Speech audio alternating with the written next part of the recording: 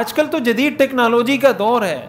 Mobile हमारे घरों में आ गए हैं मीडिया हमारे घरों में आ गया है सोशल मीडिया हमारे हाथों में आ गया है। अब इसको कंट्रोल करने का तरीका भी सीखना चाहिए।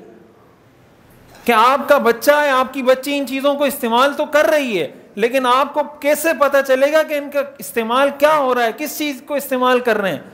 आजकल इसके लिए बाकायदा सॉफ्टवेयर बने हुए एप्लीकेशंस बनी हुई है, आप सारे मोबाइल्स को कंट्रोल कर सकते हैं। आपके घर में दस मोबाइल है, आप दस के दस मोबाइल को अपने एक मोबाइल से कंट्रोल कर सकते हैं। आपको पता चल सकता है आपके मोबाइल में कि इन मोबाइलों में क्या हो रहा है। वैसे तो हम टेक्नोलॉजी की बातें करते हैं, वैसे तो हम कहते हैं कि भाई हम बड़े एडवांस हैं। जब एडवांस है तो कंट्रोल करें ना इन चीज़ों को। कौन करेगा कंट्रोल यही वजह होती है कि फिर जब वालदेन बच्ची का रिश्ता करवाते हैं, भाई फलां जगह रिश्ता करो, बच्चियाँ कहती हैं, हम रिश्ता नहीं कर रहे। फिर वालदेन रोते हुए आते हैं मौलवी साहब के पास। में बार ही आखिर में जाके तान टूटती है मौलवी पर कि मौलवी साहब, मैं बच्ची का निकाह करवा रहा हूँ, वो निकाह नहीं कर रही, आप तावीज़ दे दो। इस तावीज़ से आपकी बच्ची ठीक होगी, आपका दिमाग ठीक है। दस साल आपने उसको यूनिवर्सिटियों में पढ़ाया को एजुकेशन सिस्टम में उसको रखा, उसकी तरबियत के हवाले से उससे कुछ पूछा नहीं, उसने अपना सारा माइंड सेट बना लिया, सारा जहन बना लिया, सारी प्लानिंग कर ली, सारी मनसूबाबंदी कर ली, सब कुछ उसने ओके कर लिया। अब आपको मौलवी साहब तावीज़ देगा और उसकी दस साल की मेहनत ख़त्म हो जाएगी। मौलवी साहब कोई जादूगर है क्या? उसके पास कोई जादू की छड़ी है क्या? ये कोई तमाशा है, कोई मज़ाक है कि एक तावीज़ से एक चुप करने से आपका बेटा भी ठीक हो जाएगा, आपकी बेटी भी ठीक हो जाएगी। फिर ये दम दुरूद, ये तावीज़ें, ये तावीज़ फिर काम नहीं आते।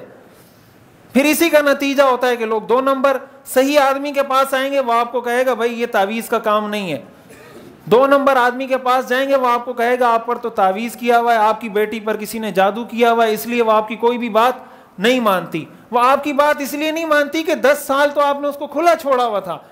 आमिल आपको ये कहेगा कि उस पर किसी ने जादू करवाया हुआ है, इसकी वजह से अब आप उसको जो भी बात करते हैं, उसको बुरी लगती है। उस वजह से बुरी नहीं लगती। वो जो दस साल आप खुद जादू करते रहे ना अपनी बेटी पर, ये उस जादू का असर है, किसी और के जादू का असर नहीं है।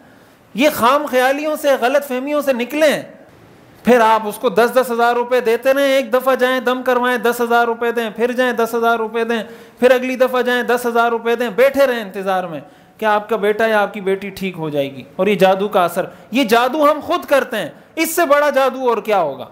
यानी इसका मतलब हमने सारे इसबाब के असरात को तस्लीम करने से इनकार कर दिया।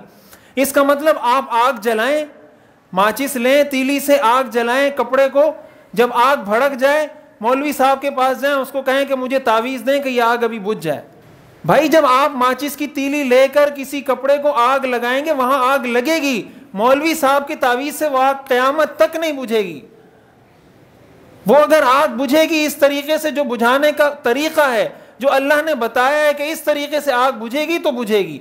मौलवी साहब पूरा कुरान ख़त्म करे यासीन के ख़त्म करें, आप कुरान खानिया करवाएँ, किसी आमिल के पास जाएँ, वो आग नहीं बुझेगी।